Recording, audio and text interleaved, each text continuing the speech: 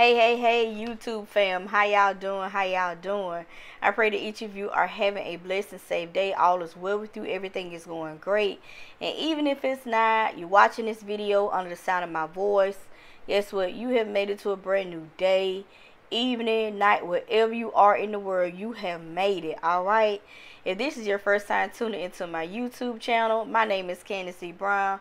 I'm a certified life coach. I'm a motivational speaker. I'm an author as well as a YouTuber and a podcaster. I am also a mother of two beautiful and wonderful children. And what I do, I do mindset coaching for women, helping them take them mindsets from rags to riches, baby, okay? Because every woman is a queen out here. All right, so ladies, if you need help with mindset coaching, self confidence coaching, self love, please do not hesitate to hit me up on my website, www.mindsetchange21.com. Or if you have any questions, any concerns, shoot me an email, contact at mindsetchange21.com. Because if you've been watching my channel, what I tell y'all, y'all are some queens. Okay? That's your birthright, you royalty. All right, don't let nobody tell you different. I don't care what you do for a living. It don't matter about your past. Don't matter about the circumstances or situations that you're going through. None of that stuff matters, baby. You a queen out here in these streets. I don't care what nobody told you. I don't care what your mama told you, your sister, your daddy, your auntie, cousin. They might say, "How you a queen? You ain't no queen. baby. You were born a queen." You understand what I'm saying? Before you even got down here, baby, you was a queen. You understand what I'm saying? You are a queen.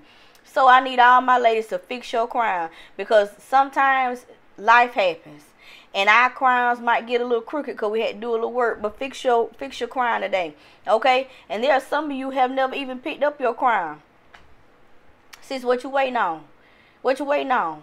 Don't, don't be talking about I'm waiting on to get my life right or I'm waiting on to get myself together. Pick that crown up today. Pick it up. Pick up that crown. Put it on top of your head, baby. Hold your head up high and walk like the fearless, bold queen that you were born to be. All right. All right. So I know it's been a few days since I've been on here. Y'all forgive me. Y'all forgive me.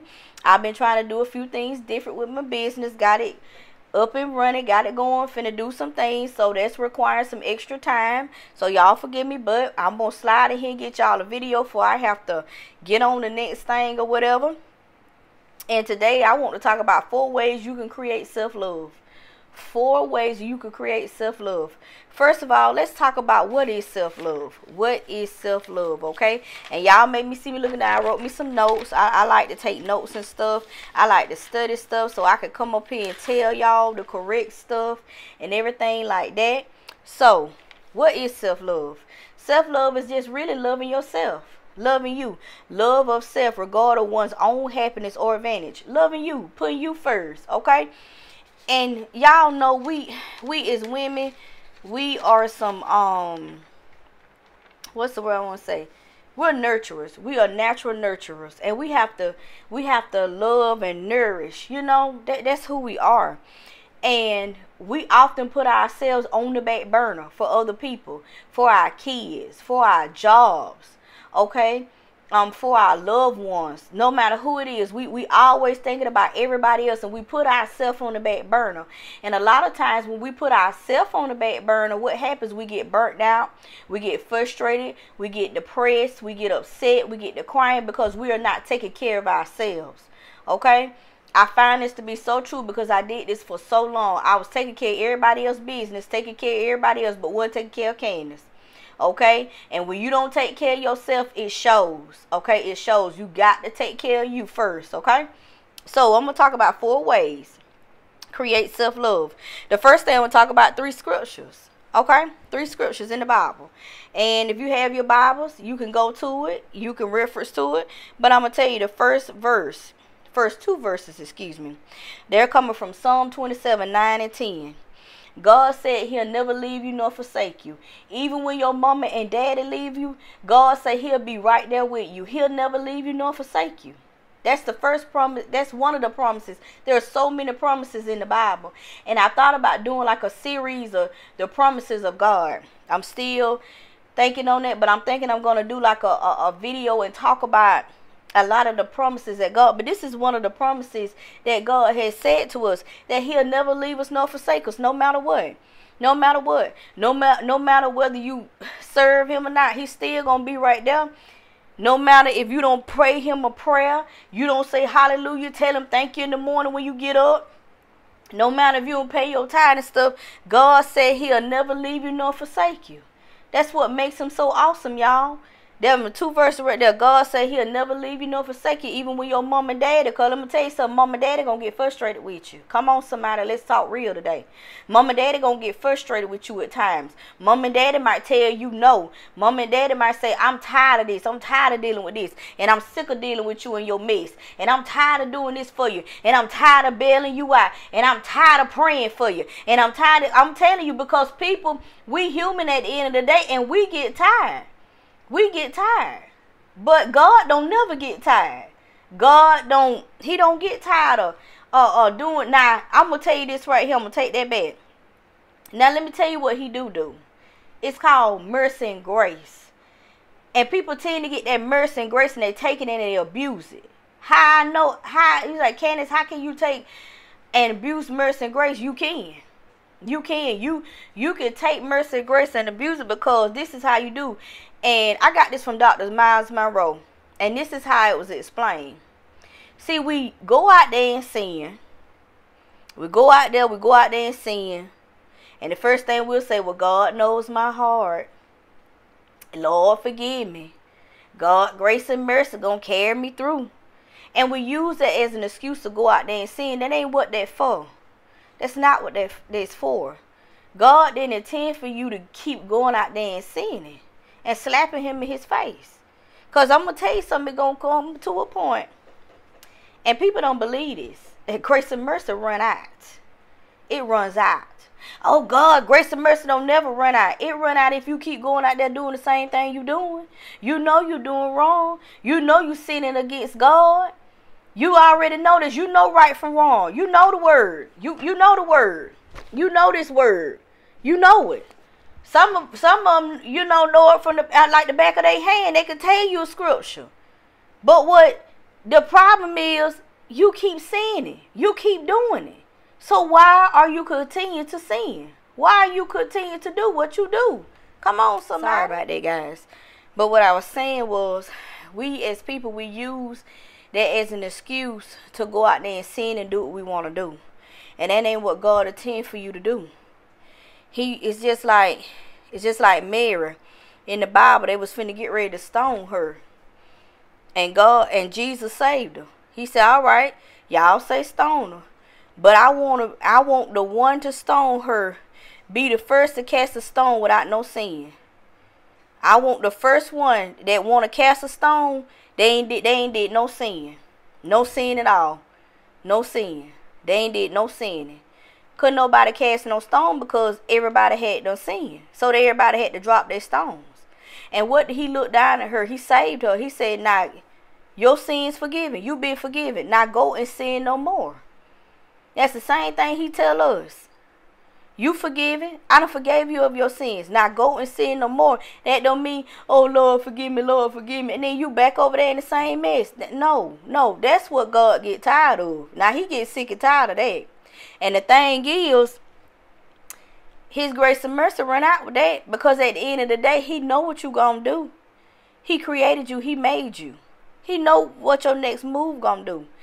And a lot of people, I feel like a lot of people don't want to come to this side because you feel like you got to be perfect. God know you ain't perfect. You ain't got to be perfect. You don't have to be perfect. All you got to come as you are. That mean come with your sin. That mean come with your shortcomings. That mean come up toward from the floor in your heart. That mean come to him just like that because God want all that smoke. He want all the smoke, baby. He can handle the smoke. You can't handle the smoke, but God can handle all the smoke, baby. He want all the smoke. He want every sin, every shortcoming, everything. He want it all. He want cast your cares upon him, for he cares about you. Cast all your cares upon God. Give it to him. It belongs to him. It don't belong to you. That's why a lot of us are so sick now because we trying to tote a load that we ain't even equipped to tote. You sitting over there carrying all that hatred and jealousy in your heart, unforgiveness, and, and just you just toting it all. and you're not equipped to tote that. God didn't design us to tote on that. That's what create a disease. Cause we sitting around here tote stuff we ain't equipped to tote. God did not design our bodies to tote that kind of stuff around. Get rid of it. Empty it. How do I empty cannons? Give it to God. Give it to him. Release it. Give it to him. What he said, cast your cares upon me because I care about you. Take my yoke, for my yoke is light. God is saying, give me the heavy load. Give me the heavy burden. Give it to me. Give it to me. I can handle that. That's that's what I'm here for. I'm here to lighten your load. Whoo, Jesus, I thank you. Come on now, cause it come come whoo, come on. Cause sometimes it gets heavy, get too heavy to carry. Weigh in on your mind. Then when it weigh on in your mind, it weigh on your body. And you begin to look different. You don't look like yourself no more. Cause you carrying all that unnecessary weight. You carrying on that unnecessary weight in your mind, in your heart, in your spirit. And you just toting around and now it's just drying you up like a prune. Your skin changing. Your eyes, you just don't even look the same. And people like, are you okay? you like, yeah, I'm fine. I'm fine. No, you ain't. You sit up here toting around unnecessary weight. You ain't got no business. Give it to the Father. He's well able. He's well able to handle it. Give it to him. And I promise you, you'll feel better. Woo, I had to get that out, y'all. Y'all forgive me. But anyway, let's go on to the next thing. But I have to let God do what he do best, baby. I just have to let the Holy Spirit take over. All right. So the next um scripture, there's another scripture, Matthew 22, verses 35 through 40. And I'm gonna read this one. And this right here talks about the commandment. And I'm gonna start at 37, y'all. Y'all can start back at um 35, but you really could start from 37 to 40. I'm gonna say 37 to 40. And it reads, Jesus said unto him, Thou shalt love the Lord thy God with all thy heart, and with all thy soul, and with all thy mind. I'm gonna read 37. It says, They said, What is the greatest commandment? It says, Love. It said, Thou shalt love the Lord thy God with all your heart. That's self-love, y'all. How is that self love? When you loving you, you loving God. How awesome is that? When you start loving you first, love you first, that's when you're loving God first. God wants you to love you first so you can love him. You and him are one. Y'all connected. Y'all together. Y'all together. He said he'll never leave you nor forsake you. That means he always right there with you. So when you love you first, you loving God first. That's self-love. Love you first, so you loving God first. And people, oh, that ain't what that means. Yes, it is. See, you we can't read the Bible from a carnal mind. You got to read from a spiritual mind. And the reality is, if you love you first, you gonna love God first. You and him are one. Y'all connected. Y'all together. Cause he'll never leave you. He right there. He ain't gone nowhere. He still right there. He a gentleman. What he say? I knock at the door. There I stand there and knock. If you open the door, I come in and sit with you. Come on, somebody. But how many of us know that old ugly devil? He ain't gonna knock at your door. He gonna bust the door right in. I just got through talking to my sister right there. I wish I could draw. I would draw a picture. But I want you to picture this in your mind. I want you to picture your house in your mind and your house is your body. Okay, we're going to say the house represents the body. This is the body. It represents a house. Okay?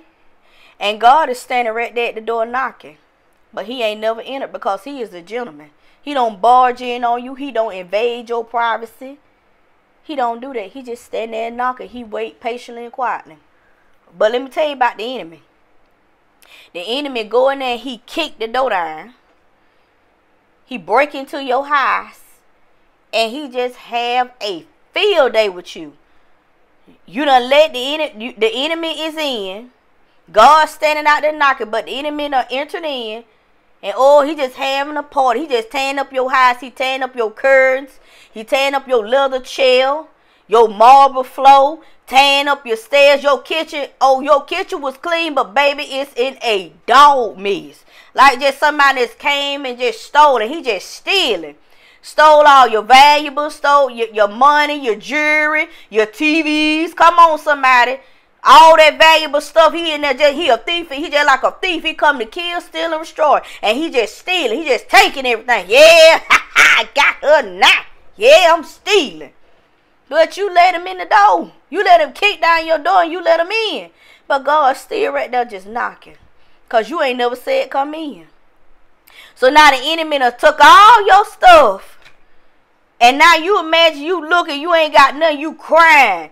You crying, oh God, help me. Uh. You crying now because you ain't let God in to begin with. Then you open the door and you let God in. Say, God, please come on in. Then God, he step on in. But you know what I love about God? God take all that stuff that was stole from you and he just just like he just take his hands and he make it better than ever. He take what the enemy did to you, he use it for your good. And he just do like this right here. For you know you got a brand new house like you ain't never had before, baby. And it's sharper than the marble flow. They ain't never sharp shining. Then you don't know what you been trying to shine them up. But when God put that touch to it, put his whoo, when he touch it, you can see yourself in the reflection in the flow. It's like you standing on glass. Okay, he done took your kitchen and made a brand new kitchen. You that kitchen ain't never looked like that before. You understand what I'm saying? So you let God sit in there sit with you. Now I don't think the enemy ain't gonna ain't heard about you got no new stuff. He trying to, yeah, I'm a dag on it. he get frustrated. So then he come back over there and he finna kick the door down in. Before he kick God said, uh-uh, you can't come up in here. You know better. Bye. And so, and God don't even have to say a word. God just sit there look at door like this. And he's, I, I'm, I'm finna go. I'm finna go. God said, mm-hmm. That's what I thought. But you let God answer your door. You let God fight your battles. You let God handle all the heavy duty. You let God handle all the heavy work. You ain't got no business doing it. All you got to do is sit back, kick back, and relax. Because if you go to the door trying to answer, what the enemy going to do? Knock you down, come right back in there try to steal your stuff again. I want y'all to get this in your get this in your mind, get it in your heart. Open the door for the Lord. Open the door and let God came in because the enemy already took and stole from you. But God then gave you the okay in this season. I said this on the podcast early this morning. He done gave you the okay to go back and snatch your stuff. It's snatching season. Go get your stuff back. It's yours. Go get it back. He done gave you the okay. Some of us been robbed of our happiness, our joy, peace, some of us ain't got no joy in our life because the enemy done stole it. But go get your joy back. God done equipped you. You fully equipped to go get your stuff back. God got you. He ready. Are you ready? All right. All right. But let me get on with this, y'all. Whew, he's awesome. Number two, spend an hour a day just loving on you. Just spend an hour a day just loving on you. Get up and look in the mirror and tell yourself how much you love yourself oh, I just love the way I look. I'm beautiful. I'm smart. Talk, saying those affirmations. Get you some affirmations all about you. Okay? Get in the mirror. We I know we did a 30 day challenge. I think this was last year we did it. When you get out the shower, just get in the mirror and just and that and it's like that same thing that you conscious about, that you self conscious about. My I'm self conscious about my stomach Tell your stomach how much you love your stomach and your thighs and your legs. This this part of self love. Tell God that you thankful thankful for your stomach and thighs. It might be big, but that's okay. Be thankful for it. Be thankful for it. Say, oh, I love my stomach. I love my arms. I love my thighs. I love my eyes. Just do a self reflection. Just tell yourself how much you love yourself. Respect yourself at all times. Don't let nobody walk all over you and treat you like a doormat. No, respect yourself at all times. Don't allow no disrespect. You don't have to be nasty, but you let people know I don't tolerate disrespect. I didn't holler at you, don't you holler at me, and they continue to holler, and like they ain't got no sense. Walk off. You can't just walk off from me. Yeah, yeah, yeah. Let that let that demon run rapid like he running and you just remove yourself from the situation. Say oh no i rebuke that in the name of jesus. And you go about your business. You go about your business okay? Also hold yourself accountable. Hold yourself accountable to things. And if you have to get a, a accountability partner Get you somebody that you could trust. Get a life coach that's going to hold you accountable, especially when it comes to goal setting. Let's say you set a goal, say, okay, in the next 30 days, I want to uh start doing a, uh, YouTube, doing my YouTube channel. And I want to start posting on my YouTube channel. Hold yourself to that. Do it and have you somebody that's gonna stay on you. Hey, did you post it on your YouTube? No, girl. Okay, girl. What you waiting on? Get that, get get that, get that video out. Get that video out. Get that podcast out. Start on that business. Get somebody that's gonna hold you accountable. Another thing I want you to do also is um create a self care treatment plan. And what I mean by this creating a self care treatment plan Spend 30 minutes something you love doing positive things. Now y'all spend 30 days with watching one of these videos. Um, whether it can be journaling, writing your affirmations, writing the perfect day, um, as well as um I want you to what is something oh go to the you know go get your nails done do something for yourself as well too now y'all Go get your nails done. Go out to eat. Go buy your shirt, outfit, something like that. Do something to that nature. Spend 30 minutes. Now, you don't have to spend money every day. But um, if it's 30 minutes of, of reading, um, a book that's going to pour into you something positive, spend 30 minutes a day doing something that you love. Also, celebrate your wins Celebrate your wins. I don't care how big, how small they are. Celebrate your wins. Okay? A win could be just like, oh, great. I, I started my podcast. That's a win. I started my YouTube channel. That's a win. Or I didn't go off on my boss today. That's a win. Okay? I didn't fuss and argue with nobody today at work. That's a win even though they're small, celebrate them anyway. Celebrate them anyway. Celebrate your wins. Celebrate no matter how big or small. Um, celebrate your wins. And this also builds self confidence to make you want to do more good things. All right. Also, um, let's see, affirmations. This is something that's new to me, and this is something I start doing. Instead of saying, I know I had said a few minutes ago with the self care, um, get in the mirror, I'm beautiful and stuff, but get into the mirror and let's switch it around a little bit. You can say I'm beautiful, but then come with a question why am I so beautiful? Like, I'm beautiful, but why am I so beautiful? Okay? Or you can go like, I know I'm a genius, but why am I so smart?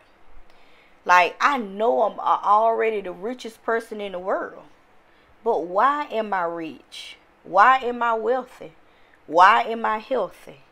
Okay? And I promise you, it just does something to you. It's like it'll you'll start attracting. You'll start attracting the the wealth that you want. You'll start attracting the people that you want to attract in your life. Oh, this is another one I wrote y'all. Why is my body in perfect shape? That mean my body gonna get into shape. but I just this tweak this to how you have to be tweaked to. I love to say, why is my skin so soft like cotton? Or my skin, why is my skin so radiant like the sun? Okay? And it's just, you going to attract people and people going to tell you, oh, you so beautiful. Your skin is just radiant like the sun. What you got going on? You be like, hmm, yes. Yeah, y'all. I'm telling you. I'm telling you, it works. It works. But I just want to come on here real quick and share some ways of creating self-love. I know I was here and there, but I was staying on subject. But I have to let God do what he do, y'all. But I want y'all to love yourself. Love yourself. This has been um a big thing, especially with women. We stop loving ourselves. We stop caring about ourselves. We just let ourselves go. And it be due to um past relationships, past trauma we had going on. It just it be a various number of things. But I just came to encourage all my queens, love yourself. Put yourself first. Let's start thinking about you. I know you you listen, you got to be here to take care of them babies.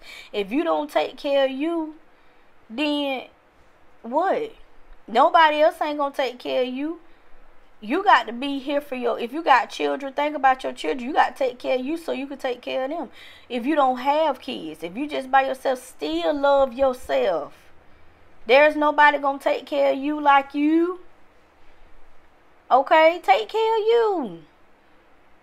See about yourself. Stop putting yourself on the back burner. You ain't no doormat. You ain't no back burner woman. You ain't no bad lady okay? You ain't the cleanup woman neither. And you ain't the rebound girl. You ain't the weekend girl. You a whole queen out here in these streets. And a queen, she take care of herself at all times. So take care of yourself. Take care of yourself. Get do this self-care. Re, replay this video as many times as you need to to get those ways to create self-love for yourself. Take care of you. All right. Y'all have a blessed, wonderful, and prosperous day. This has been Candis D. Bryan, your certified life coach, your motivational speaker. I will check in with you guys next time.